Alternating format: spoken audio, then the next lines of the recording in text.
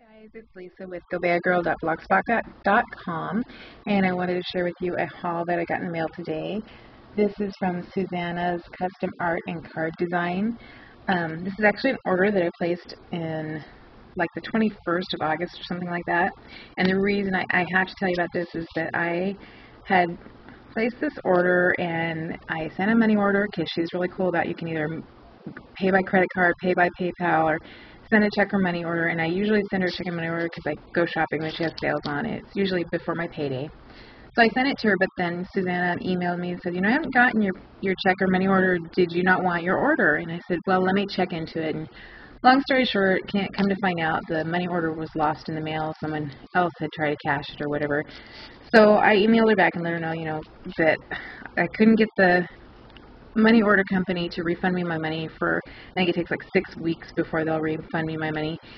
And and so then she emailed me back and she said well if you still want it let me know and, and I can hold it for you until you get the money or you get paid or whatever. So I just want you to and the reason I'm bringing it up is because I just wanted to tell you what a super super kind lady this that Susana is. She actually waited the extra two weeks for me to get paid again for me to send her back in the money order a new money order she made sure that it got there and let me know it did, and then she mailed it right out to me. So anyway, that's my story, and I just want you to know that she's so awesome to, sorry, my camera's moving, I'm moving it. So awesome, awesome to work with. So this is what I came home to, and I was going to wait to open it, but of course, I have to wait till my whole family goes to bed because our, you know, we have two teenagers and TV's going and everything else. And don't pay attention to my desktop because it's like terribly, terribly messy. I've been working on being sick and getting cards done, and then I have things coming up that I have to get stuff done for. But anyway, so my first thing I ordered was the Spellbinders Nestability, the big scalloped squares, which I love. I don't have any of those, and I thought that'd be really fun. So she sent me that. And this is what, this is so awesome. Every time you, I order something with her, and she does, she does it for all our customers, she sends a little thank you. She sent me some Teresa Collins bling, which is a little orange and white and black. They are adorable. Thank you so much, Susana. I love, love those. Some Celebrations Paper Flowers by Petaloo. I have never ever seen those. Hope my camera picked that up because they are just gorgeous. And dun, da, da, da, my mind's eye is mischievous. I'm not sure what these are actually called. Decorative brads. And these right here are like paper on the brads. The 31st I mean, you guys, I'm sure everybody's seen these, but to me, I've never seen them. I don't have a store around, as I always say, and it just, for me, I can't tell you how much it means to me that she sends me stuff like that. I think that's awesome. Thank you so much, Susana. Okay, so this was kind of a spoil me haul, so it really wasn't supposed to get lost in the mail or anything because I kind of placed a large enough order to get free shipping. Um, I bought some of the Bo Bunny trinkets. I, they've got the metal and the different stuff to go with it, and I just thought they were so cute. I don't know if you can see that. It says Lifetime Moments. Sorry, my camera's not focusing. You don't need to see me because I'm in my sweatshirt. And then I bought the Bo Bunny trinkets for this one. This is for the zoology because a couple, about a month or so ago, I had bought the zoology papers and I thought she had these on sale and I thought they would go really good. And of course, that's the Bicky Bee. I love the Bicky Bee. And I bought some of the Pearlized Top Coat Smooch. I don't have any smooch. I've seen tons of people that use it. I have a friend that uses it that I've seen on occasion. Um, but I thought I'd give this one a try, and I think I'm going to try and get some more because I know they can look really cute on Halloween cards and everything. And then I don't usually buy rubber stamps or, I mean, clear stamps or acrylic stamps. I don't have good luck with them, but I thought I would give this one a go because it's the Stella Rose, and of course, y'all know how much I love my mind's eye, and I love the little bird cage, and I thought that was pretty cute. And I thought maybe I could use it for different scenes or whatever. So I got that.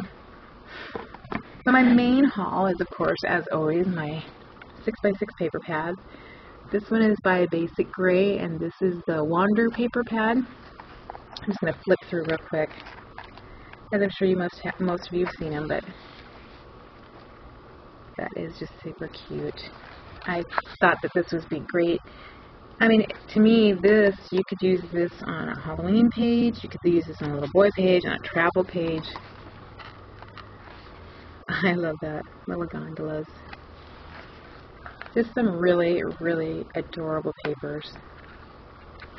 That's awesome. But I, my husband and I used to go on Google Earth all the time and look around where we were born and different stuff, see how the towns and cities have changed. And it's just, that looks like Google Earth to me. Thought that would be a great backscape for a card. Lots and lots of different stuff you can do with it. I just, of course, everybody loves basic gray paper, and I too. Okay, then I have not bought any uh, Crate Paper since my friend owned the store here, and those were in 12 by 12 then, and I've not seen any Crate Paper, but everybody's been getting them, so I thought I would try this one. This one's called Toy Box Collection, and as I have a great nephew, just turned one today, and I have some, I, one, well, I have four nephews, but one, uh, three of them are adults, and two of them, one of them is a little guy, so I thought this would be fun paper for little boys and men. they can make boys too. Uh, chili bean soup. This one's watermelon gazpacho soup. Have not seen this before. Love, love, love that. Of course, I realize it's not summertime anymore here, but hey, you never know when you might need to make a summertime card for someone else. And this is cool because in the middle, all that writing, it says summertime is the best time. And this page, even though my camera is not showing it, is actually a real nice, pretty pink, or pink, my goodness. I'm tired, you guys. Sorry, I worked all day. Uh, orange with a darker orange writing, and then this, of course, is in the creamish white. Watermelon, stars and stripes. I just thought this was really kind of a great all-around pad. Like this, I might have to try some more jelly bean soup. And another great basic gray pad is Life of the Party. Hopefully you guys can get a better picture of these. Kind of trying to shoot around my silly camera here.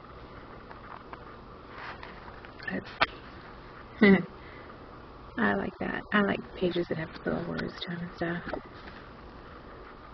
Very cute. Banners. Now that is awesome.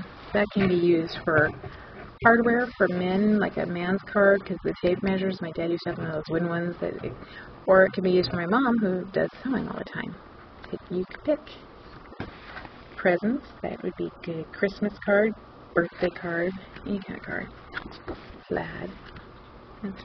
Oh. Now that is cute. I don't know why I'm so addicted to these. I swear I have so many 6x6 paper pads, and if I had the money, I'd have even more. Um, Nordic Holiday by BasicGrey. I've been seeing this pop up around Blogland and YouTube, and I just thought it was so cute. I had to have it. I love those. Those are just so cute. Can you imagine some Anyas on that? I cannot wait. This one says treats, gingerbread, Christmas, merry, friends, greetings, party, holidays. Love it. Very, very pretty. Hope you guys are seeing that okay. Very, very pretty.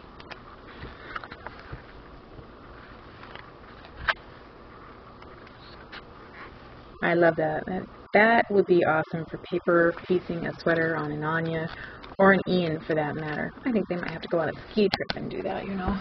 I don't ski, but Anya and Ian certainly can. Excuse me for I have to fix my pads here. I have credit everywhere, you guys. Sorry about that. And, ah, so sorry. Authentique. This is literally the second pad, paper pad I've gotten of theirs, and I think they've got beautiful paper. This one, I'm trying to look for a name of it, but I don't think it's really saying what it is. Oh, Splendid. Very pretty papers. I'll kind of go slow, so, or a bit faster so I'm not bugging you guys. Sorry, I know I sound nasally, but I've had a cold this last week. I finally got it from my two kids that went back to school, of course, and got their colds. And then, of course, you all know how much I absolutely adore My Mind's Eye. So this is um, one of their mischievous pack, which thank you so much, Susana, because now I have stuff to put with it. Look at this stuff, you guys. Is that not the cutest Halloween papers? You don't even necessarily have to use them for Halloween. And the thing I like about My Mind's Eye is not only you get one side, but you get two different sides to pick from, and they're just always awesome, either side you pick. Very cute paper pad. And then I had to get another 6x6. This one's Paris & Company. You can tell I went ahead and opened all these because I didn't want to have to do it on screen. I'm not good at it. I'm not good at it under pressure. Alright. Love it. Wee.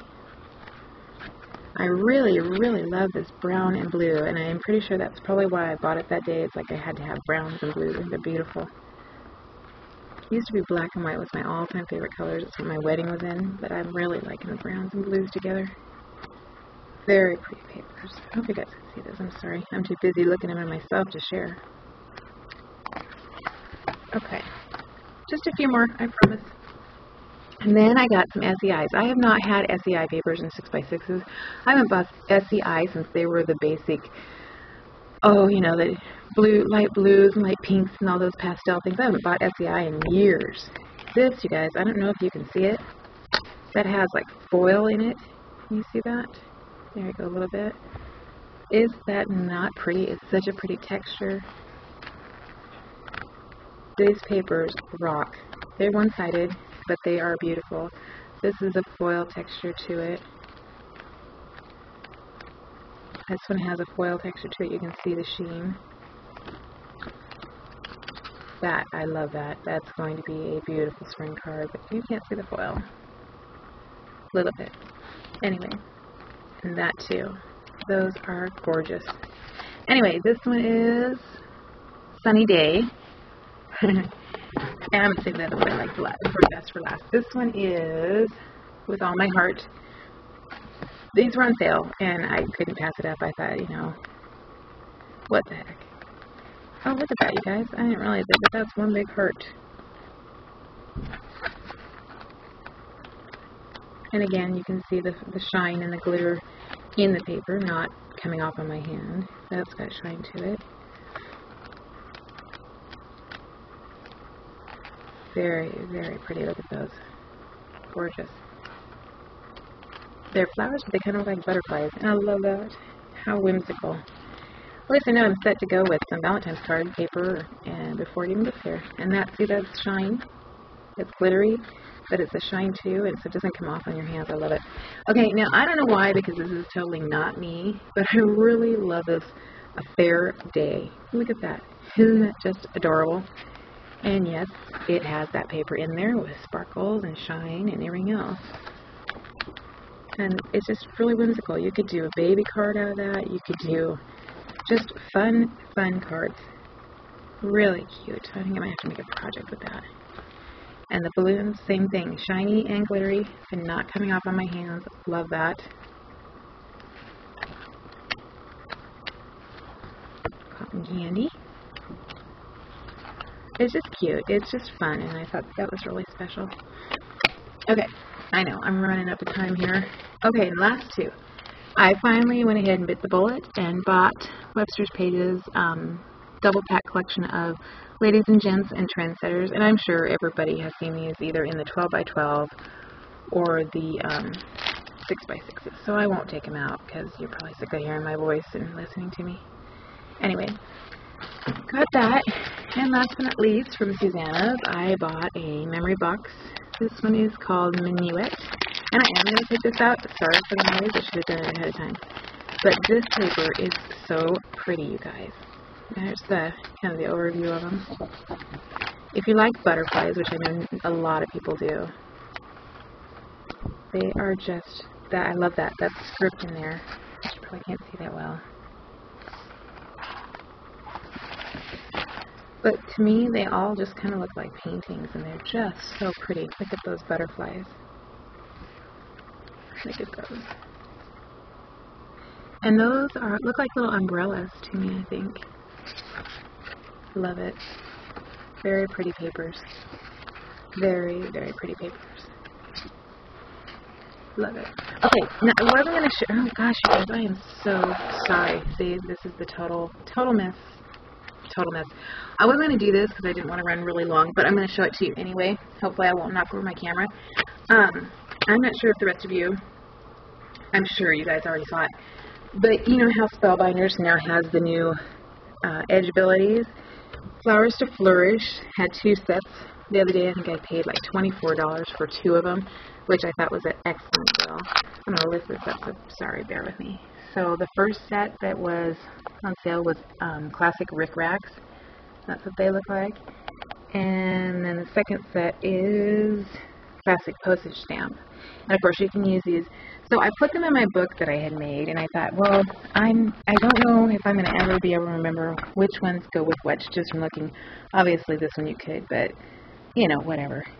But on the back of the page, of course, they had it, these guidelines. So I cut them down so that I could have remember to place them there.